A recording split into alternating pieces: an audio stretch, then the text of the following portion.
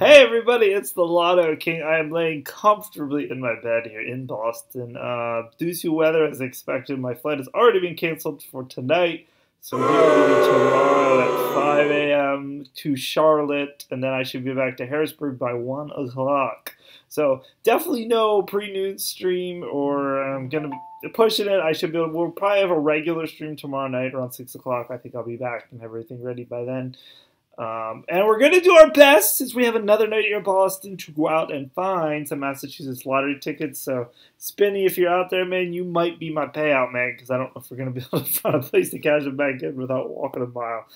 But um, yeah, so that's the update. Um, I'm resting. I gotta go for about a half hour to go stand on a Wii board and test my balance, which sucks. My balance sucks. uh, all right, everybody. I'll hopefully probably see you later. Um, if we're gonna do a ticket stream tonight, probably at the same time as last night, probably about seven o'clock. But stay tuned. See ya.